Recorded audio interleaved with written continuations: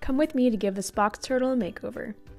He has an overgrown beak and nails, which need to be trimmed short to keep him comfortable. This can happen if they are not given proper substrate to dig in and grind their nails down, or not fed proper food that wears their beak down. Fortunately, the owner realized something was wrong and brought him to me to get treated. Now, if you've ever tried to open the mouth of an awake box turtle, you know it's next to impossible if they don't want you to. So, we had to give him a little sedation. I used a combination of hydromorphone and alfaxalone.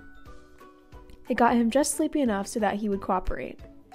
I started trimming the sides of the beak down with a Dremel.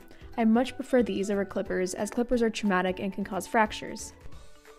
This doesn't hurt the turtle, as the extra beak growth is similar to overgrown fingernails. Once the sides were filed down enough, I was able to open the mouth with a tongue depressor and file it down further. Once the beak was completely filed down and reshaped, I moved on to the mani pedi. I started with the clippers, and once I got the bulk of them off, switched to the Dremel. At first, the nails were so long, they were curling and overlapping each other, and he couldn't even close his feet into his shell.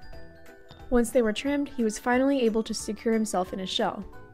Box turtles are unique among turtles in that their shells are hinged at the bottom, and they're able to close themselves completely inside.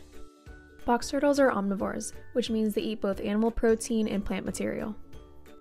Usually, this looks like 60% bugs such as earthworms, isopods, and roaches, and 20% veggies such as squash and mushrooms, 10% leafy greens such as collard greens and dandelion greens, and 10% fruit such as berries.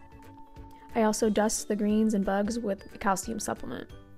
Their basking spot should be 85 to 90 degrees, and the cool side of their enclosure can be 70 to 75. In addition, they must have a UVB light because without it, they can develop metabolic bone disease. And here he is after his spa day, looking much better.